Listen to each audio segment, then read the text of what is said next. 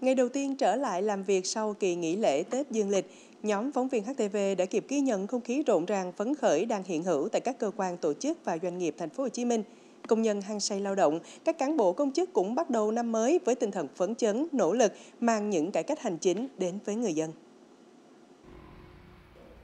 Thưa quý vị, vào khoảng 8 giờ 30 phút sáng nay, à, dù lượng người dân đến giao dịch thì vẫn chưa quá đông, tuy nhiên là năm cán bộ công chức làm việc tại bộ phận một cửa của Ủy ban nhân dân xã Tân Nhật huyện Bình Chánh thì cũng đã có mặt đầy đủ, đúng vị trí và trong tâm thế đó là sẵn sàng phục vụ người dân ngay từ ngày làm việc đầu tiên của năm 2024. Là một trong những công dân đầu tiên trong năm mới đến bộ phận một cửa của xã Tân Nhật, huyện Bình Chánh để làm thủ tục đăng ký hộ tịch. Anh Nguyễn Phú Trung cho biết rất hài lòng vì ngày làm việc đầu tiên mọi thủ tục đều suôn sẻ thuận lợi. Tiếp ờ, dân thì rất nồng hậu,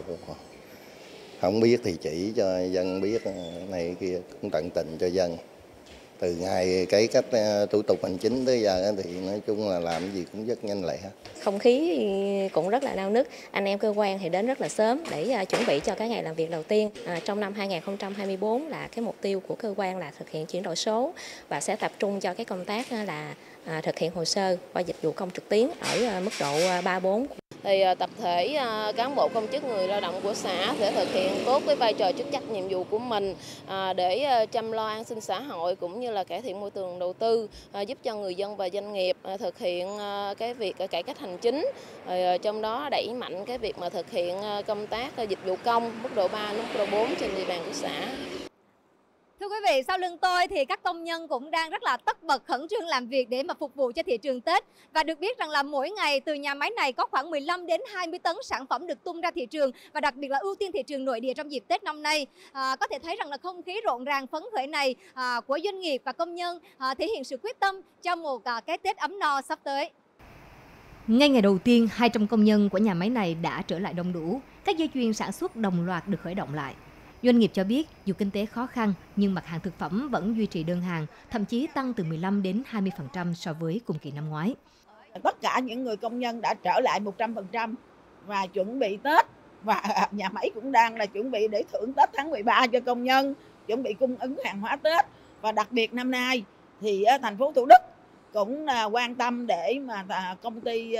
Bình Tây để cung cấp cái phở cũng như những cái gian hàng ẩm thực tại trên con đường Hoa Hướng Dương, à, con đường bờ sông mới của thành phố Thủ Đức nên là công ty cũng đang rất là bận rộn để chuẩn bị tất cả những cái hàng hóa Tết. Còn đây là không khí tại phòng đăng ký kinh doanh Sở Kế hoạch Đầu tư Thành phố Hồ Chí Minh trong hôm nay. Các hồ sơ hầu hết đã được nhận và trả qua online, giúp rút gọn thời gian cho người dân. Điều này sẽ được tiếp tục phát huy trong năm mới. Cũng rất mong là áp dụng được thêm uh, nhiều cái biện pháp để có thể cải cách hơn nữa giúp cho người dân doanh nghiệp có thể thực hiện cái thủ tục nhanh chóng hơn từ 3 ngày làm việc thì hiện nay là mình đã xuống được hai ngày làm việc rồi mình cũng hy vọng là có những cái thủ tục mà phòng đăng ký kinh doanh có thể hỗ trợ cho doanh nghiệp thực hiện được chỉ trong vòng 1 đến 2 ngày làm việc thôi.